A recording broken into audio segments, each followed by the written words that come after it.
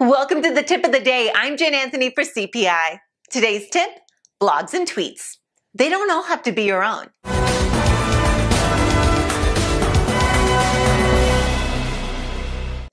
It happens to everyone working in content creation and social media. You run out of things to say. You've already written about everything on your content list. The well has run dry. When it happens, because it will, you have an excellent resource that you can tap into, and it's limitless. Hit retweet. I get it.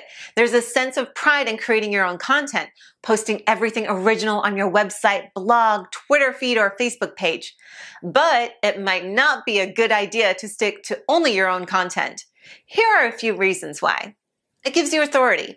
There are literally thousands of people online who have already posted valuable content that can apply to your niche. It doesn't just bulk up your blog or Twitter feed, it shows you're comfortable taking advice from industry leaders, and it gives an extended reach to those you're reposting. It gives great content to follow. If you've run out of new ideas, your last few posts might have been grasping at straws. Reposting good content from applicable sources can be refreshing and new to your thirsty readers. It expands your network.